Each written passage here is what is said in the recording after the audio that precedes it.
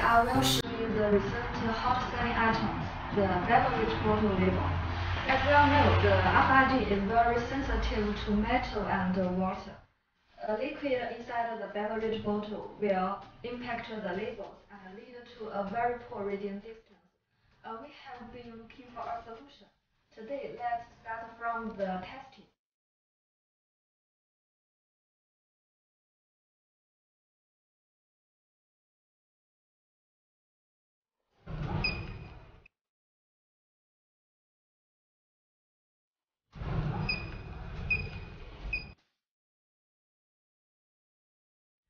Then let's test with a larger label.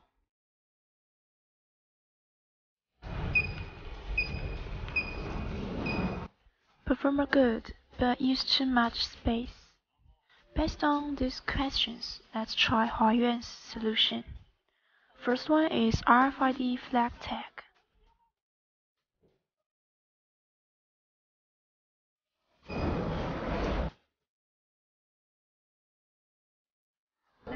Test the second one option, the anti-liquid special aluminum antenna RFID label.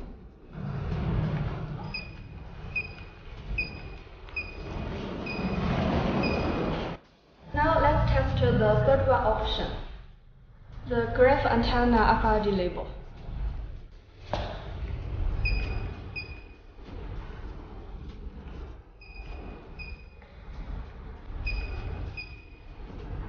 Graphene belongs to environmental friendly material. It's a trend of new labels in the future. Graphene label meets anti-thief function for brand protection.